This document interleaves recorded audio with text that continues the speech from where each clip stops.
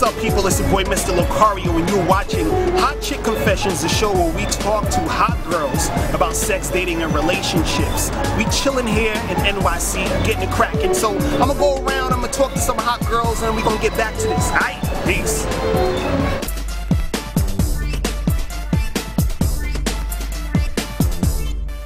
What type of guys do you like? Uh, nice guys. Nice guys. What No, do I mean like the by? bad ones. I like the bad ones. Okay. What do you think? What do you think uh, guys like about you? Um, I think they like that I'm beautiful. Okay. All. on, a, on a scale of one to ten, one being not into it and ten being really into it, how into sex are you on a scale of one to ten? One to ten. Yeah. Um, five, I guess. Five. I'm not like a fiend or anything. okay. Um, are you attracted to women? Are you, have you ever been attracted to women? No, I'm not. Never, never kissed a girl. No. Okay, cool. Um, have you, uh, if a guy asked to buy you a drink, right, and you weren't into him, you, you was not attracted to him, you had, you, you really didn't like him, would you accept the drink even if you wasn't into him? I have accepted the drink, but wouldn't do it anymore. It's so mean. Really? Why do you think it's mean? because it's leading the guy on. Okay. It's not cool. Okay. Have you ever had sex on the first date?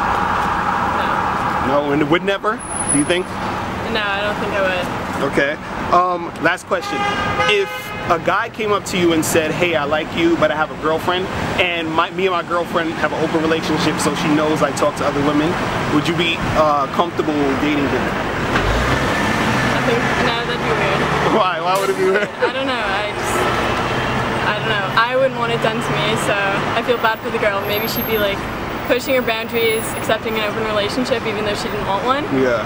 So being in her position, I wouldn't want to do it. Just thinking about it. Okay. And do you have a boyfriend? No, not at the moment. And you're single. Yes. Wow. Awesome. You're watching Confessions of a Hot Chick on ilookseXynaked.com.